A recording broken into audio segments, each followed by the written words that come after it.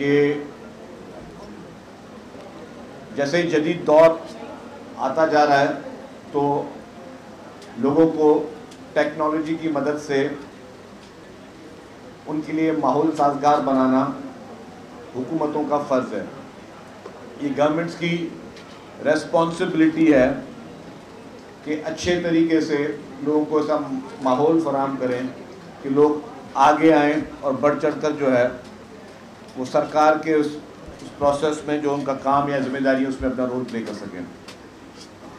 आज हम बैठे हैं एमआर ऑफ़िस में ये मोटर रजिस्ट्रेशन ऑफ़िस है सिविक सेंटर की जो कि मैं समझता हूँ कि पाकिस्तान की सबसे बड़े में बड़ी और हैवी से हैवी अगर मोटर से रिलेटेड मोटरसाइकिल से रिलेटेड गाड़ियों से रिलेटेड कोई ऑफ़िस दफ्तर है तो वो पूरे पाकिस्तान का सबसे बड़े में बड़ा दफ्तर यहाँ पे है। क्योंकि जितनी गाड़ियाँ यहाँ पे रोज़ाना की तादाद में रजिस्टर होती हैं। जितनी मोटरसाइकिल्स यहाँ पे डेली की बुनियाद पर रजिस्ट्रेशन होती है, फिर लोगों के जो ट्रांसफ़र होती है गाड़ियों की, वो भी यहाँ होती है। फिर उसके साथ साथ लोगों को जो अपना टैक्सेस पे करने हैं नंबर प्लेट्स लेनी है, सारी चीज़ें लोग यहाँ पे आते रहते हैं। तो यहाँ पे जब ये केयर टेकर ख़त्म हुई और गवर्नमेंट मिली तो यहाँ आके मैंने जब दौरा किया, देखा था यहाँ पे रश बहुत थी और डेफिनेटली लोगों का जो है जब रश होती है तो फिर यहाँ पे अमले को भी काम करने में दिक्कत होती है और लोगों को भी तकलीफ़ होती है। तो हमने हिदायतें की इनको कि जी, यहाँ पे हम उसको थोड़ा कॉपरेट सेक्टर की तरह ले आएँ, लोगों के बैठने की अच्छी जगहें पैदा करें और लोग अच्छी तरीके से बैठे, पूरे एयर कंडीशन ऑफ़िस हो, कि जब भी पब्लिक आवाम आती है, वैसे सरकारी दफातर में अफसरान या बाबू तो एसी में बैठे होते हैं आवाम जो है वो गर्मी में बाहर प्रॉब्लम होते हैं। तो यहाँ पर हमने कहा कि जी आवाम को आप एयर कंडीशन दें आवाम जब आए तो वो सीट बाय सीट बैठ सकें और उनको एक एक क्यू सिस्टम जो होता है उस तरीके से उनको एक जदीद तरीके से उनको आ, वो उनकी मैनेजमेंट हो। तो उसी के लिए ही अब जब भी कोई यहाँ पे आएगा तो उसको टोकन मिलेगा टोकन के काउंटर्स उसको कॉल करेंगे और वो फिर आके अपना काम कर सकेगा। और ये सारी सहूलियतें जो हैं, वो बायोमेट्रिक्स भी कर दी हमने। कि अब बायोमेट्रिक के ज़रिए होगा ताकि जालसाजी जो होती है, वो गलत काम, वो जालसाजी वो ना हो सके जालसाजी को रोका जा सके। जो और सबसे इम्पोर्टेंट चीज़ हम कर रहे हैं, जो कि वो भी शुरुआत हो गई है।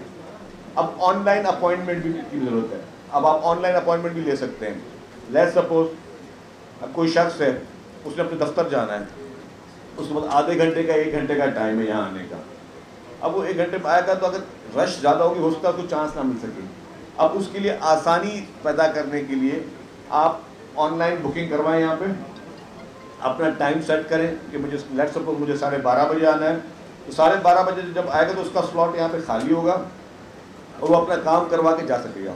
ये सारी एक्सरसाइज का मकसद ये है कि अरबों रुपए जो है वो टैक्स की मद में एक्साइज एंड टैक्सेशन डिपार्टमेंट लेता है बिलियंस ऑफ़ रुपीज़ के टैक्सेस के टारगेट्स होते हैं, वो लेता है, और फिर वही जो है, उसने फिर सरकार को देने होते हैं।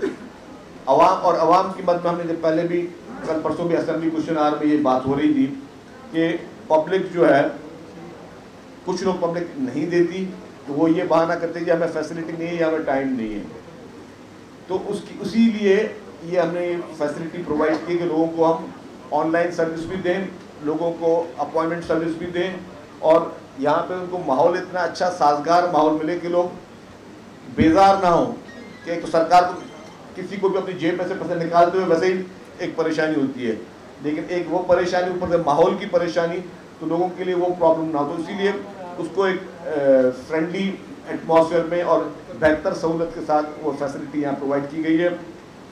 कोशिश हमारी यही है कि ये महकमा पहले भी बहुत अच्छा काम कर रहा था।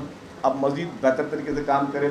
मैंने पहले भी कहा है कि अब हम लोग इसको एक तो ये ऑफ़िस आपने देखा कि पूरा कराची का मेन ऑफ़िस ये सिविक सेंटर कराची में है। एक ऑफ़िस हम किसी और शायद डिस्ट्रिक्ट हाउस में खोलें और खोलने जा रहे हैं।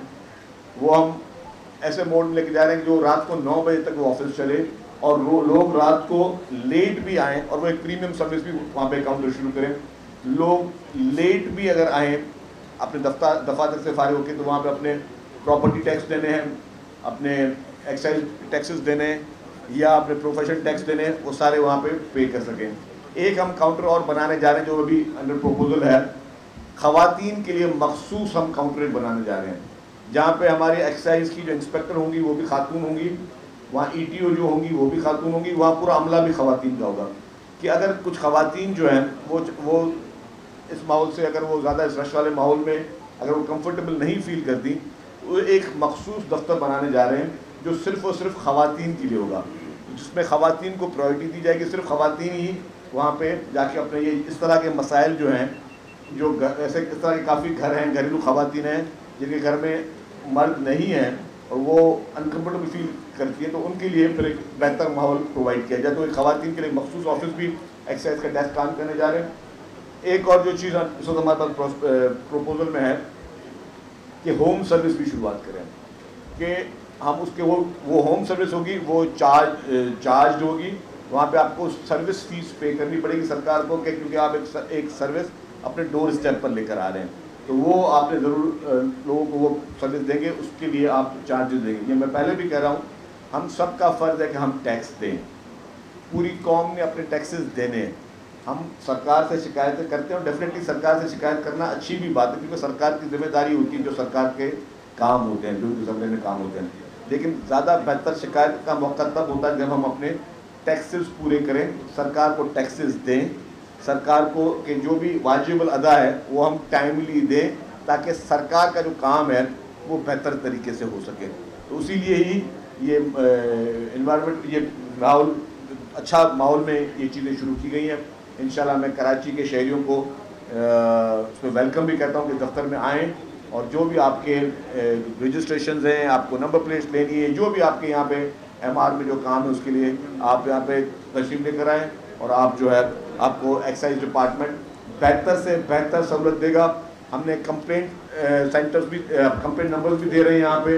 अगर किसी को कोई अमला शिकायत, अमले से शिकायत है, कोई एक्साइज का ऑफिसर आपके साथ अगर जो है कोई आ, कोई गलत बात करता है या कोई गैर कानूनी बात करता है तो भी आप उस नंबर पे शिकायत दर्ज करें उस ऑफिसर का नाम लिखें उस पर एक्शन होगा। क्योंकि हम चाहते हैं कि एक बेहतर माहौल में जो है हम इस महकमे को पूरी सिंध गवर्नमेंट को आगे लेकर चलें। अच्छा सचिन साहब एक तो नॉन कस्टम पेड गाड़ियाँ रजिस्टर्ड गाड़ियों के नंबर लगा के लोग चला रहे होते हैं। एक नंबर की तीन तीन चार चार गाड़ियाँ भी कराची शहर में नज़र आई है।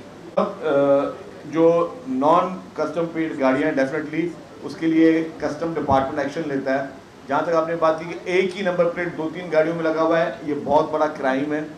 और, इस पर भी हमने एक्शन शुरू किया। आपने काफ़ी अर्से से देखा होगा कि अब रोड पे एक्साइज डिपार्टमेंट की विजिबिलिटी आपको मज़ीद बेहतर नज़र आई होगी। ये मैं पहले भी कहता हूँ हमारे पास in fact shortage of staff है। और अनफॉर्चुनेटली स्टे ऑर्डर की वजह से हमारे लिए बहुत बड़ा प्रॉब्लम है। गवर्नमेंट के एक महकमे को अपनी परफॉर्मेंस अपनी एफिशिएंसी दिखाने के लिए जो स्टाफ रिक्वायर्ड है, जिसकी एस मंजूर है, जिसका इश्तहार आज से एक साल पहले आ चुका है, जिसमें कैंडिडेट्स आई पास, वहाँ पे पास हो चुके हैं। वो कैंडिडेट इस वक्त जो है, वो क्वालिफाई करते हैं, लेकिन बिकॉज़ ऑफ़ वो जो स्टे ऑर्डर किसी ने दिया हुआ है, और उस स्टे ऑर्डर की वजह से यहाँ के यहाँ के ना सिर्फ़ उन नौजवान के लिए जो कि उनको अगर नौकरी मिल जाती तो शायद उनके हालात भी बेहतर हो जाते, मुआशी हालात उनके बेहतर होते। हैं हुकूमत का जो अपना काम कर रही है, आज अगर हमें टारगेट्स जो मिलते हैं, अगर अचीव नहीं कर पा रहे हैं, क्योंकि हमारे शॉर्टेज ऑफ़ स्टाफ है तो वो वो स्टाफ हमारा प्रॉपर हो तो हुकूमत अपना काम कर सके तो वो ज़रूरत है। लेकिन ये चेकिंग्स वगैरह चल रही हैं। कोई भी शख्स अगर एक नंबर प्लेट को, एक नंबर को दो तीन गाड़ियों में लगाएगा तो वो बिल्कुल काबिल कबूल नहीं है। गाड़ी इम्पाउंड होगी एफ़ आई आर लॉन्च होगी। और हमने अभी रिसेंटली काफ़ी गाड़ियों की मैं पकड़ी। अभी तक तो हम 25-30 गाड़ियाँ इम्पाउंड कर चुके हैं। सिंध भर में इस तरह की 25-30 गाड़ियाँ जो है इम्पाउंड कर चुके हैं। एफ़ आई आर काट चुके हैं। अप्लाइड फॉर रजिस्ट्रेशन गाड़ी भी अलाउ नहीं है। अनरजिस्टर्ड गाड़ी भी अलाउ नहीं है। और गलत नंबर प्लेट लगाना इज़ अ क्राइम और हम अभी शायद उसको असम्बली के ज़रिए और कैबिनेट के पास भी कराएँ। जो भी गलत नंबर प्लेट कराए, उसके उस क्राइम की सजा को बढ़ाने हम जाएँगे इन है